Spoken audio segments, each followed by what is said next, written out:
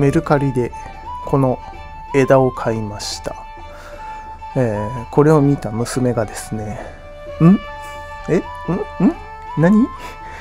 という感じの反応で、えーとても面白かったです。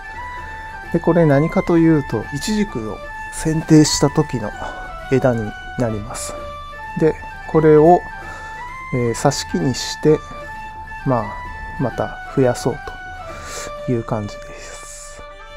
品種はビオレソリエスというもので、黒いイチジク、幻のイチジクと言われているもので、えーこちらをですね、育てていこうという感じです。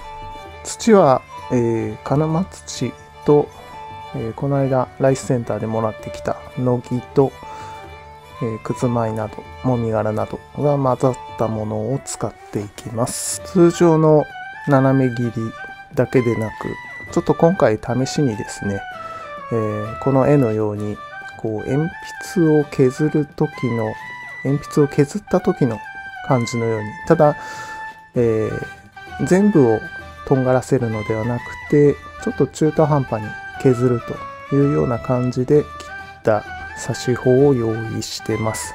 これで差が出るかどうかちょっと見てみます。4号の鉢に、えー土を入れてそこに差し穂を刺しています、えー差し穂はだいたい1日ぐらい水につけてあります。でこれを、えー温床の上に置いたやつと衣装ケースの中に入れたやつと。